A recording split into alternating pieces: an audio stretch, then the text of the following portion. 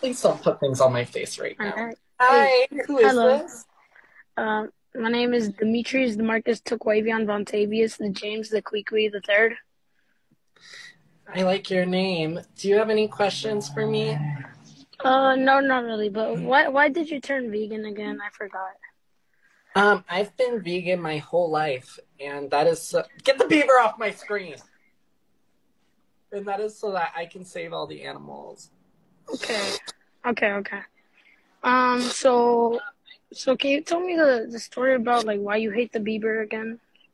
I just explained it. I No, I I forgot. I forgot. I wasn't here. Okay, I'll say it one more time.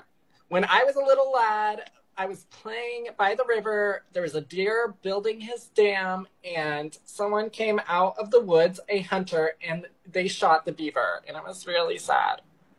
Okay.